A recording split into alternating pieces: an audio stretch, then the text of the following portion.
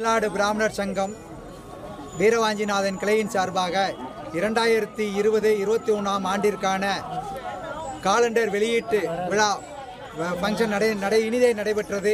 இந்த விழாவிற்கு அனை வந்திருந்த அனைவரும் வரவேற்கிறோம்.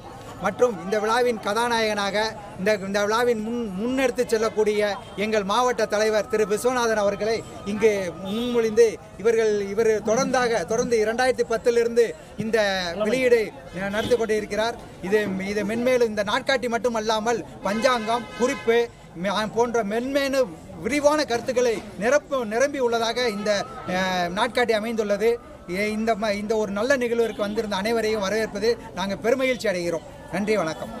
தமிழ்நாடு பிராமணர் சங்கம் பழங்கானத்தம் கிளை சார்பாக இரண்டாயிரத்தி இருபத்தி ஒன்றாம் வருட நாள்காட்டி வெளியீட்டு விழா நடைபெற்றது.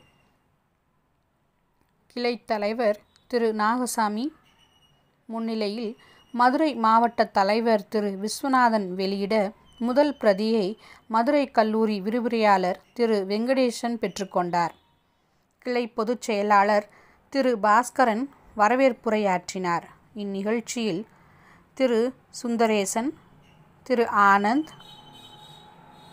ஜெய் ஸ்ரீராம் ராமச்சந்திரன் ராமநாதன் டி. ஆர். விஸ்வநாதன் ரதோத் கணேசன் கோபி கார்த்தியாயினி சீனிவாசன் மற்றும் உறுப்பினர்கள் கலந்து கொண்டு வாழ்த்துரை வழங்கினர்.